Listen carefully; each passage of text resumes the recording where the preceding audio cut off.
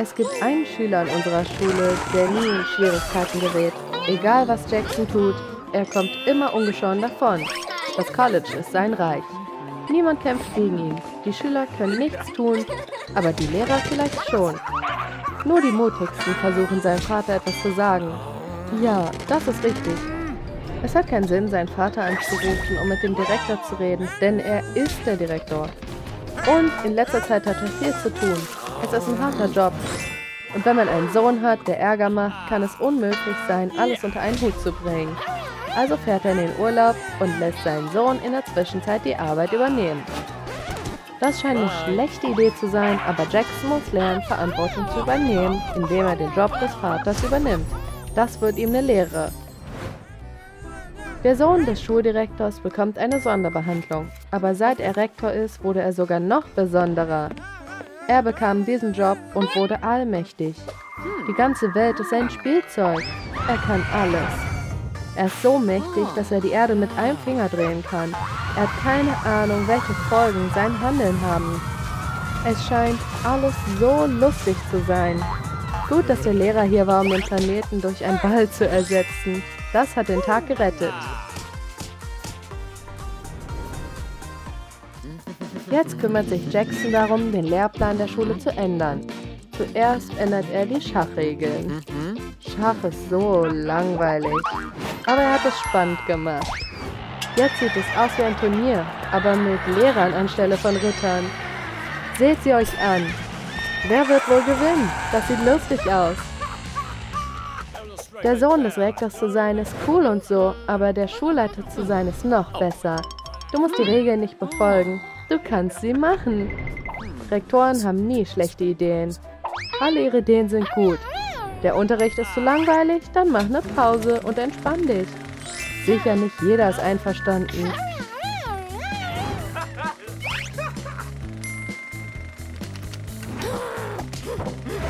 Aber Carolines Rebellion ist machtlos gegen Jackson. Man kann nicht mit der Person streiten. Die Person, die alles kontrolliert. Caroline hat nicht die geringste Chance.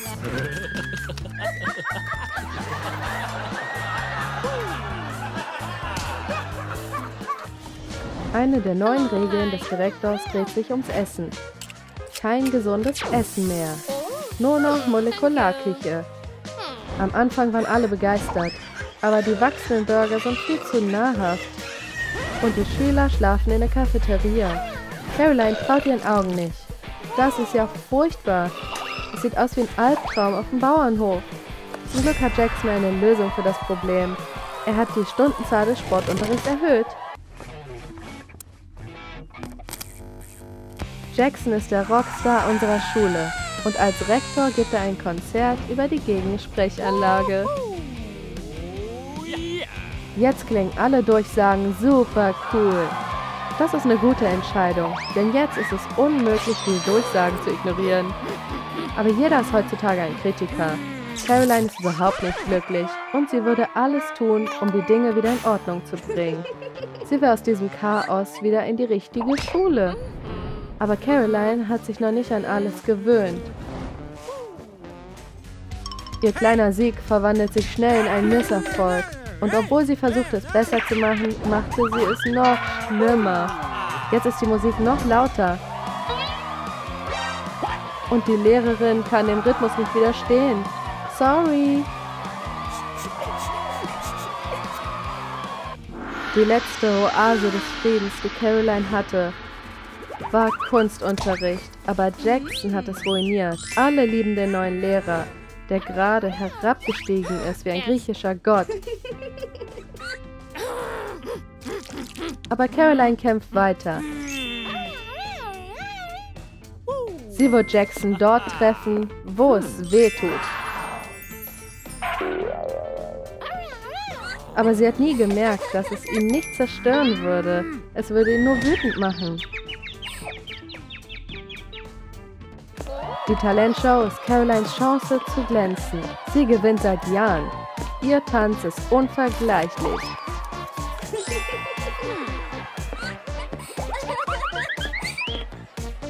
Aber dieses Jahr ist ihr Titel in Gefahr.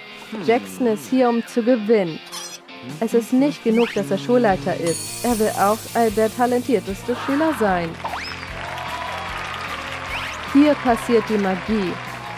Wir reden hier natürlich von Taschenspielertricks.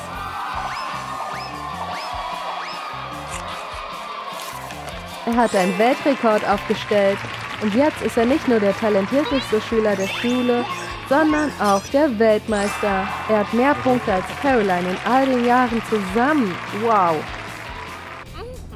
Auch wenn Jackson der Schulleiter ist, muss er immer noch Prüfungen machen. Caroline hat ihm immer geholfen. Aber soll sie ihm jetzt helfen? Was meint ihr dazu? Ja oder nein? Er war in letzter Zeit so gemein.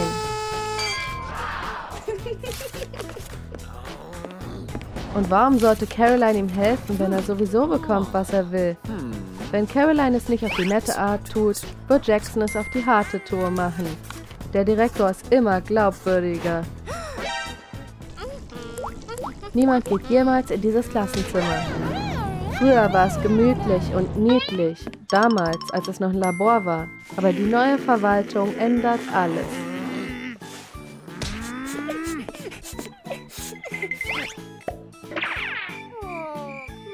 Jetzt wird Carolines Labor durch eine Turnhalle ersetzt.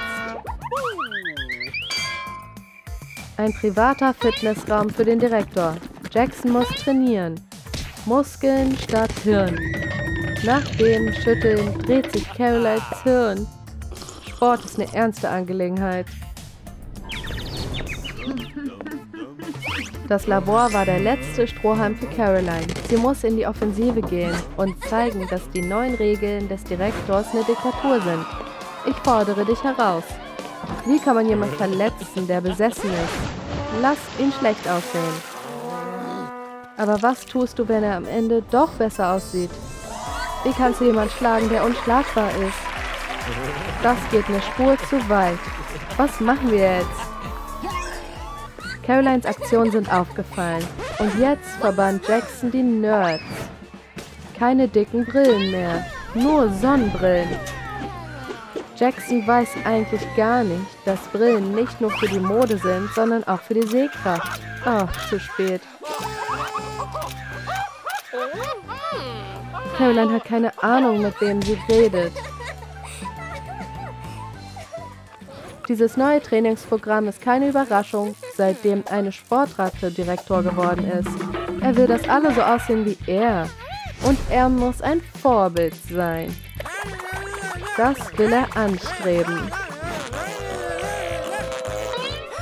Wie meine Fotos und trainiert eure Fingermuskeln. Schwache Finger gehören nicht in die Social Media. Wenn ihr zu langsam scrollt, fliegt ihr raus. Studieren ist anstrengend nach Jacksons Meinung. Deshalb will er die Klassenzimmer bequemer machen. Couches und Chips werden den Stimmungscheck bestehen. Jetzt wird der Unterricht produktiv. Es ist einfacher, an so einem Ort zu lernen.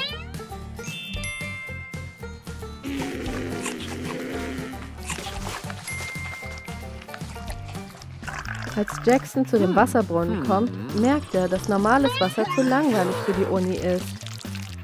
Denken braucht so viel Energie und Gehirne brauchen Nahrung. Zucker kann dabei helfen. Viel Zucker ist vielleicht schlecht für dich, aber wenigstens gibt es Energie. Und die Schüler sind glücklich. Bis die Mägen anfangen zu schmerzen. Wenn da nicht Caroline wäre, die einzige Person, die versucht, den Direktor aufzuhalten, hätte das College vielleicht ganz geschlossen.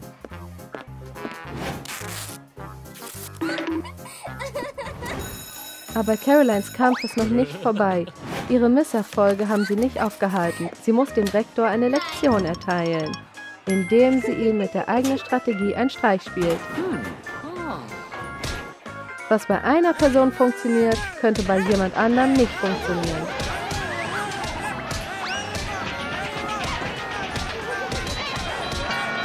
Caroline hat wieder verloren, wie immer.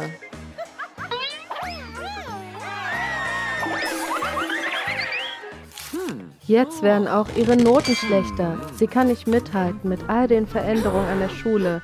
Nur noch Jungs mit Muskeln auf Muskeln, die eine Eins bekommen. Ihr Racheplan ist total gescheitert. Das ist traurig. Caroline versagt einfach immer. Die Einsätze werden höher.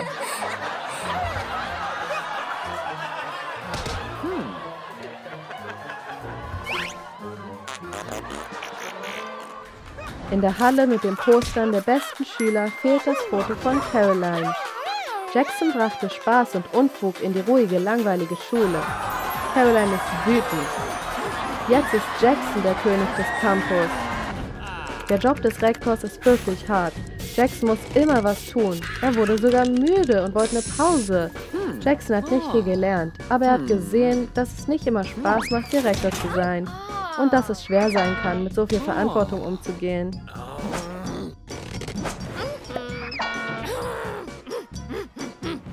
Und was sich herumspricht, kommt auch wieder zurück.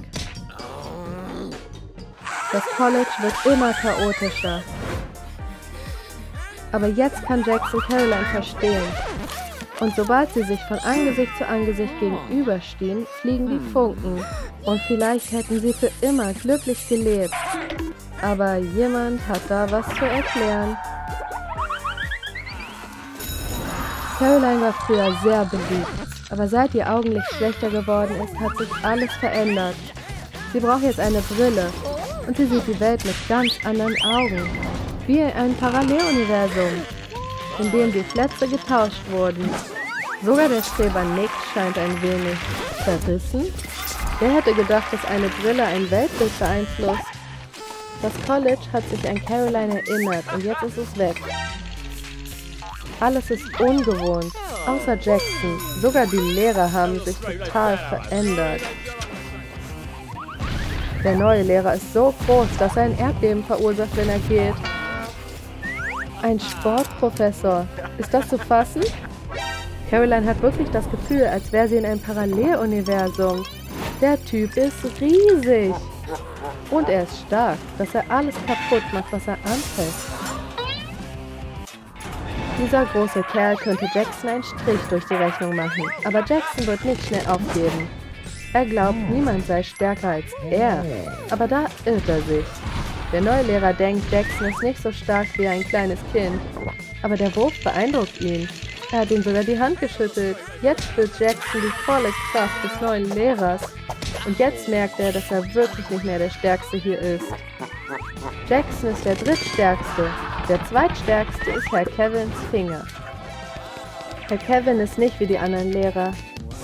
Seht euch nur seine Tests an. Keine Sorge, ihr müsst nicht schreiben. In Herr Kevins Welt gibt es nur zwei Noten, bestanden oder nicht bestanden. Er wählt den Test im Voraus aus, aber man bekommt seine Note, indem man dafür kämpft. Aber es ist nicht ganz fair und gerecht. Denn Mr. Kevin ist immer noch der stärkste Typ auf dem Campus. Caroline hat nicht die geringste Chance. Jackson hat bereits versagt. Wir brauchen eine andere Strategie. Köpfchen, keine Muskeln. Oder ist es für uns? Jackson und Mr. Kevin werden zu echten Rivalen. Sie lassen ihre Muskeln spielen. Jackson gibt mit dem teuren Parfüm an. Seht euch nur die Flasche an. Caroline kann nur riechen, wie teuer sein Parfüm ist. Sehr teuer. Wahnsinnig teuer. Herauszufinden, wer cool ist, ist eine erste Angelegenheit und alles ist wichtig. Sogar dein Schließfach-Verteidigungssystem. Bis vor kurzem hatte Jackson die beste Verteidigung, aber die Schließfächer der anderen Schüler sind in einem schlechten Zustand. Caroline spinnt lässt sich nicht mal schließen, außer mit Gewalt. Also muss Jackson ihr helfen. Normalerweise fallen die Schränke um, wenn er hilft. Aber jetzt, wo Mr. Calvin hier ist, müssen wir uns darüber keine Sorgen machen. Apropos Spinde. Jackson war immer der Beste, aber Mr. Kevin ist hier, um das zu ändern. Er kann es kaum erwarten, vor Jackson zu prahlen. Und er hat wirklich eine Menge zu zeigen. In seinem Spind befindet sich ein ganzer Palast. Ja, genau, sieh dir das an. Eine Garderobe, Videospiele, ein riesiger Fernseher. Das ist doch verrückt. Wie hat es da reingepasst? Warte, da ist noch mehr. Das ist nicht sein einziger Spind. Er hat einen zweiten. Wenn du ihn durchsuchst, kannst du sehen, warum Carolines in so schlechtem Zustand ist. Wenn große Jungs wie Jackson und Kevin ständig deinen Spind durchwühlen, ist es kein Wunder, dass er sich nicht öffnen lässt. Seitdem sie ihre Beliebtheit verloren hat, ist ihr Leben viel härter geworden. Es ist schon schlimm genug, dass dieses College voll von Sportlern ist, die Proteinriegel essen. Die sind alle so reich. Mit Essen zu spielen ist für sie normal. Und alles, was Caroline tun kann, ist sich damit abzufinden.